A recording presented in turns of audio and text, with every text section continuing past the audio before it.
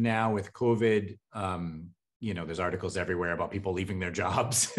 uh, it's a big wake up call for lots and lots of people. Um, you know, nurses are leaving their jobs. I think it's just been really hard on them.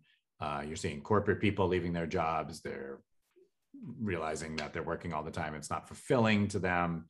Um, and they're kind of looking for a new paradigm where they can really help people and you know not in the ways that they have been doing. So uh, yoga therapy i think is a great match. Um, yoga therapy is an expanding field. People now are looking for yoga therapy. They're looking for uh, complementary and honestly alternative frameworks in which to um, work on their health. Um, there's been a lot of health problems the most obvious one during covid is long covid. Um, and that's a perfect example of something that would be really good um, in terms of a good match for a yoga therapist.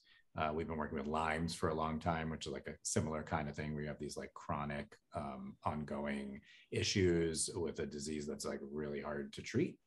Um, and yoga therapy is kind of a, a place where someone can go and figure, I like to think of it this way figure out what's the best setup for them in terms of maintaining their own health, given you know these disease states. So there's a big opportunity both in people looking for the work and i think right now as people are like transferring careers um, we are definitely getting more and more people that are looking to do that in our school